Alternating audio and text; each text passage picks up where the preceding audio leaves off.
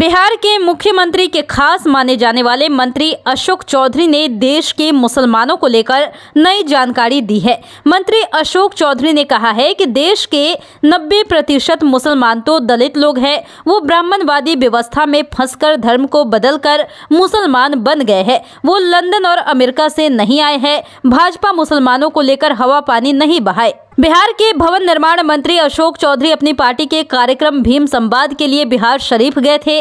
Media से बात करते हुए अशोक चौधरी ने कहा कि बीजेपी वाले मुसलमान मुसलमान कर रहे हैं। ये मुसलमान लंदन से आए हैं क्या? अमेरिका से आए हैं क्या? ये सब मुसलमान तो ब्राह्मणवादी व्यवस्था और छुआछूत में दलितों को फंसा दिया तो सब लोग मुसलमान बन गए। मुसलमान में छुआछूत नहीं था, कुछ लोग बौद्ध बन गए। ये सब तो दलित लोग हैं। नब्बे प्रतिशत मुसलमान तो इस देश में धर्म परिवर्तन करने वाले लोग हैं। कोई मुसलमान बाहरी नहीं है। दरअसल मंत्री अशोक चौधरी मुसलमानों को रमज़ान के दौरान बिहार सरकार द्वारा दी गई खास सुविधा पर हो रही सियासत पर बोल रहे थे। नीतीश कुमार ने ये तय किया है कि बिहार सरकार के अधीन काम करने वाले सारे मुसलमान कर्मचारियों और अधिकारियों को रमज़ान के दौरान सरकारी कार्यालयों में एक घंटा पहले आने और एक घंटा पहले जाने की सुविधा देने का ऐलान किया गया है। नीतीश सरकार के इस फैसले पर बीजेपी ने गहरी आपत्ति जताई है। मंत्री अशोक चौधरी ने इस बात के जवाब में कहा कि मुसलमान तो दलित लोग हैं,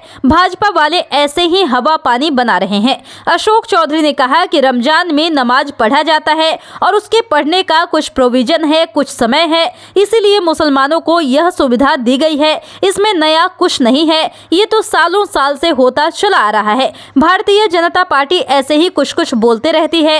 हिंदू मुस्लिम करने के लिए कुछ भी करते रहती है। कभी कभी भारतीय जनता पार्टी तो कुछ ऐसा बोल जाती है जिससे कि मुसलमानों को खटक जाता है। जो लोग माइनॉरिटी में है, उन्हें संरक्षण दिया जाता है। बीजेपी बेवजह रणनीति कर रही है।